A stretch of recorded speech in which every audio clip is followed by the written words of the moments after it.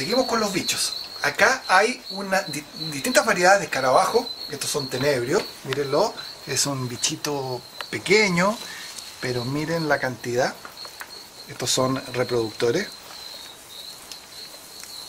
Y estos en su estado larvario tienen unos pequeños gusanitos que son parte importante de la dieta de algunos animales. El bichito se muere después que puso los huevos y su estado larvario es el que ocupamos para eh, enriquecimiento.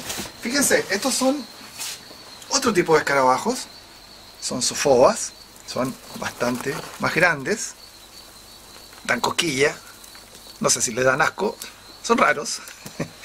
bueno, esto, esto no se come, esto eh, es muy duro, tiene mucha lignina, no, no, no es un gran aporte nutricional para los animales.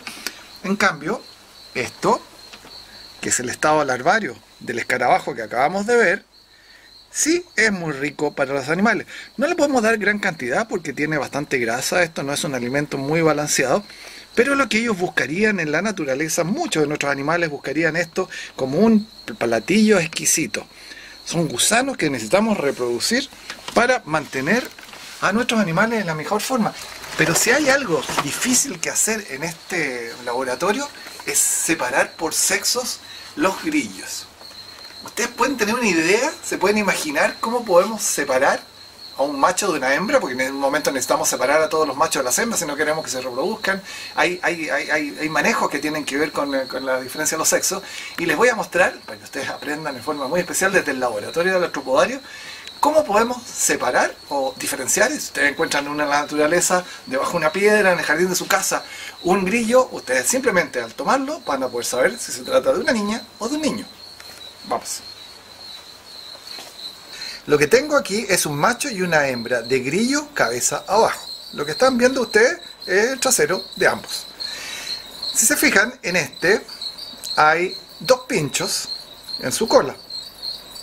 En cambio en este hay tres pinchos. ¿Cuál piensan ustedes que podría ser macho? ¿Será acaso este o será este? Este quizás porque tiene más será el macho que tiene para defenderse. No, es al revés. Este que tiene dos es el macho y esta que tiene tres es la hembra. Ese elemento que tiene en el centro le ayuda a poner los huevos en el sustrato donde va a instalarlos.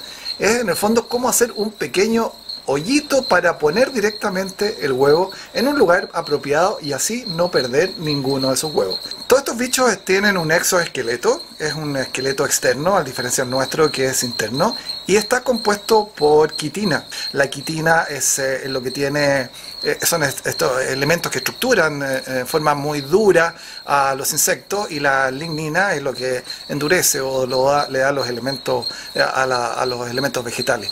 Bueno, esto que ustedes están viendo aquí, que parece tan fácil, imagínenselo en mil grillos que hay que separar por sexos, lo que es todo un trabajo para nuestros científicos.